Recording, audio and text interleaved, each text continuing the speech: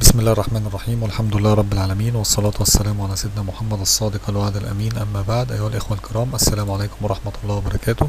آه معاكم أحمد سلامة. هنكمل النهاردة إن شاء الله course الشبكات آه تحت رعاية First Learn Academy آه كنا خلصنا ال star topology آه هنكمل النهاردة إن شاء الله مع شكل جديد من أشكال الشبكات وهو ال ring topology آه ال ring topology بكل بساطة هي آه مجموعة من الأجهزة آه متصلة ببعضها بحيث إن هي تقدر إن هي تعمل حاجة اسمها كلوزد لوب يا جماعة بمعنى يعني كل جهاز متصل بالجهاز اللي جنبه أو متصل بالأجهزة اللي جنبه عن طريق طرفين.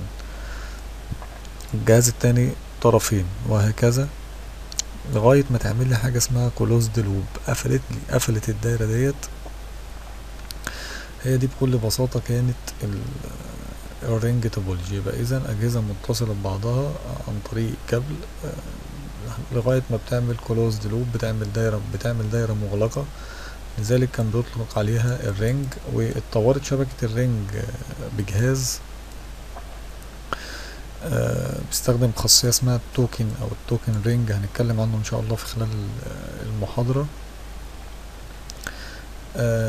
ولكن هو فكرته نفس القصة بالظبط هي ال closed loop طيب في حالة شبكات ال ring كانت ال data بتتبعت إزاي يا جماعة؟ لو قلنا إن جهاز A عايز يبعت رسالة مثلا لجهاز B كانت ال data لازم تمشي في في مسار واحد يا جماعة. يعني ال data ماشية من هنا لازم تعدي على الجهاز التاني وتعدي على الجهاز التالت بعد كده تعدي على الجهاز الرابع تديله البيانات وإلى آخره. طب افرض إن الجهازين دول عايزين يبعتوا يبعتوا ال data يعني الراجل ده عايز يبعت ممكن يمشي من الاتجاه ده؟ لا. لازم هما. لازم كل الأجهزة تمشي في مسار واحد علشان ما يعملش حاجة اسمها تصادم. دي بكل بساطة كانت فكرتها يبقى الموضوع ماشي في direction واحد في اتجاه واحد علشان ما يحصلش أي تصادم. طيب في حالة ال token ring أو الجهاز اللي قلنا عليه إن الموضوع اتطور شوية ده كان شكله. جهاز ال interfaces بتاعته غريبة أنا شخصيا ما شفتوش يعني على الصور بس. دي كانت الوصلة ما بينه. تخيل إن أنا عندي جهازين جنب بعض عايز أوصلهم. كان في الجزء الأحمر والجزء الأزرق بيوصلوا بكابل زي الكابل اللي قدامنا دوت. من الأزرق للأزرق في الجهاز التاني ومن الأحمر للأحمر في الجهاز التاني زي الشكل اللي إحنا شايفينه ده. الإن للأوت ومن الأوت للإن وبيعملوا بيعملوا برضو في الآخر closed loop نفس الفكرة بتاعة الأجهزة المتصلة بكابلات. كان الجهاز بيبقى اسمه multi station access unit والجهاز ده كان بيبقى cost عالي جدا ودوت من, من ضمن العيوب بتاعة ال ring topology.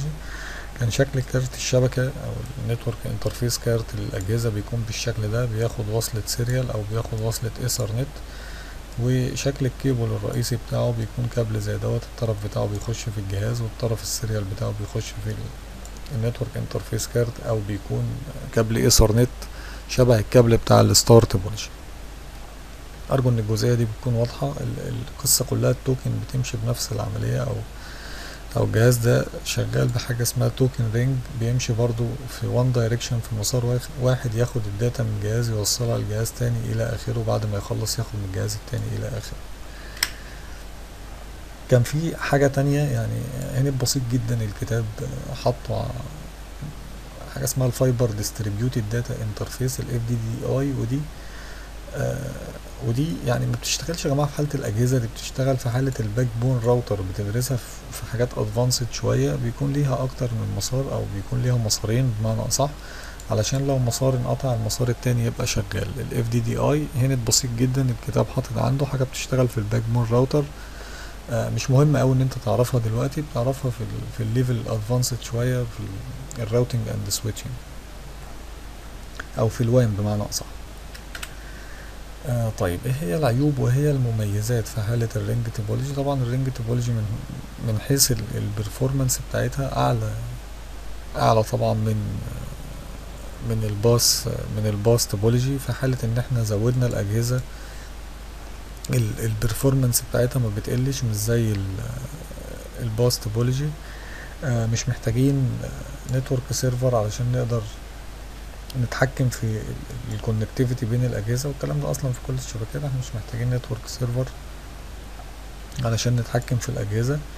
آه، لو ضفنا مكون جديد في في الشبكة ده ما بيقللش أو ما بيأثرش على الكفاءة بتاعة الشبكة. آه، كل الأجهزة شغالة equal بالتساوي آه، في الشبكة. طبعاً يعني حاجات حاجات بسيطة جدا معلومات أنت المفروض تقراها مش المفروض إن أنا أقولها لك. آه، طبعا آه، في حالة الباص إحنا قلنا انها بتمشي في direction واحد أو في مسار واحد فالكلام ده يا جماعة بيبطأ من الشبكة لأنه بيضطر يستنى لما يبعت الرسالة الأولى بعد كده يروح ياخد الرسالة التانية ويبعتها بيمشي في direction واحد. فكانت الشبكة بطيئة شوية. آه، طبعا لو لو في حالة ال- الشبكات القديمة في ال ring لو port واحد آه، حصل له عملية انقطاع كانت الشبكة بالكامل بتتأثر وده عيب رهيب طبعا مفيش كلام. طبعا جهاز ال MAU اللي إحنا اتكلمنا عليه اللي شغال بال token ring كان بيكون expensive بيكون غالي جدا عن عن الكروت وعن جهاز ال hub اللي خاص بشبكات الباص. طيب دي بكل بساطة كانت نظرة بسيطة جدا كده عن شبكات الرينج. أشوفكم في المحاضرة اللي جاية والسلام عليكم ورحمة الله وبركاته.